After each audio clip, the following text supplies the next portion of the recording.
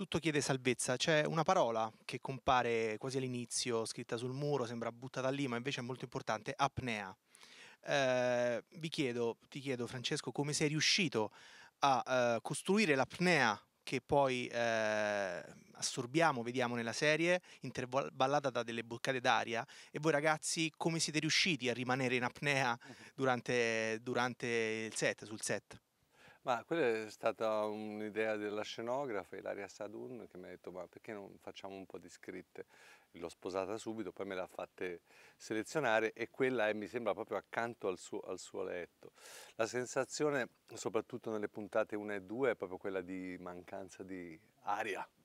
Cioè le finestre sono chiuse, non circola l'aria, non funziona l'aria condizionata e, e quindi proprio l'apnea è la parola giusta. Poi progressivamente la serie si apre, si comincia a sconfinare dalla camerata, addirittura nell'altro reparto, poi si esce anche, quindi si, si, comincia a respirare. Però insomma quella parola l'ho sposata immediatamente.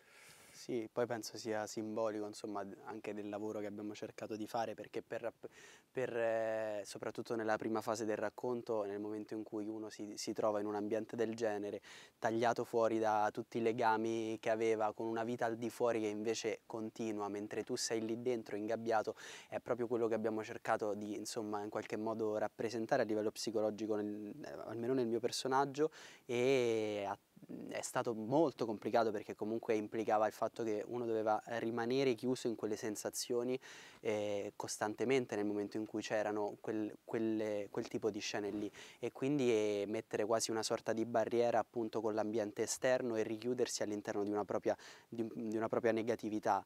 E per, per, uscirne è stato fondamentale proprio il, il, supporto e la serenità che c'era sul set, che è stata una cosa fondamentale, come proprio controparte del lavoro che abbiamo fatto noi a livello psicologico e, e a livello interpretativo, penso che la serenità che c'era sul set era fondamentale per riuscire a smorzare quella sensazione proprio opprimente che c'era. Ma ehm, io credo che Nina, il mio personaggio, non stia minimamente in apnea, anzi vomita tutto proprio fuori direttamente.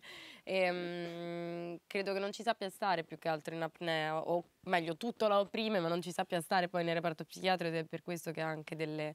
insomma vedremo poi nel corso, dopo i primi due episodi ci saranno tante cose che succedono, è un personaggio eh, molto eh, evasivo, che vuole anche evadere, quindi eh, l'apnea non è il suo forte, ecco.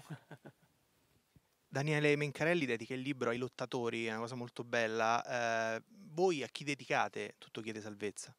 Ah. Ma è difficile dirlo, forse a tutti i ventenni che si sentono male e che non, non, non hanno magari il coraggio di, di dirlo, e che non hanno magari intorno delle persone che, che li capiscono. Sì, anch'io mi accodo a chiunque abbia voglia di, di, ascoltarci e di ascoltare anche una storia anche se non è la sua. Condivido.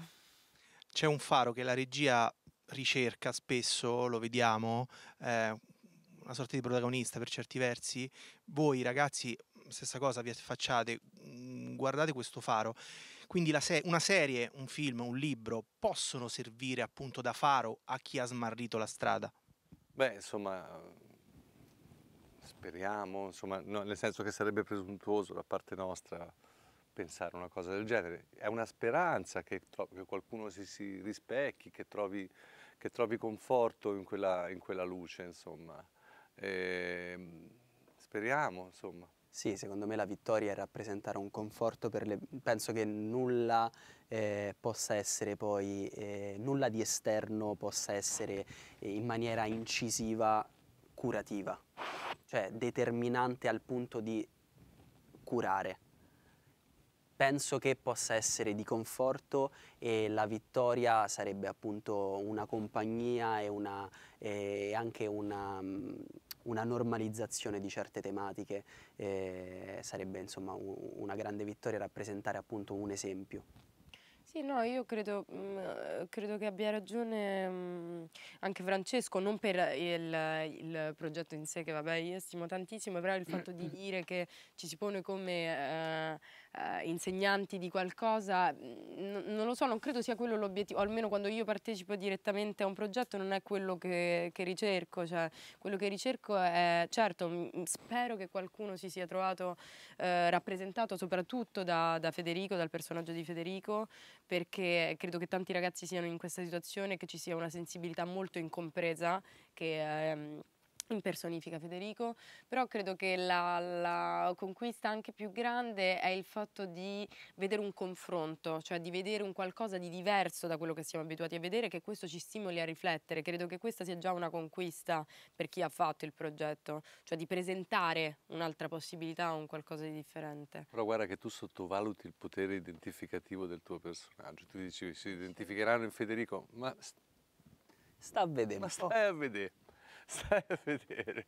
Grazie, grazie mille e ancora complimenti, grazie. Grazie a voi.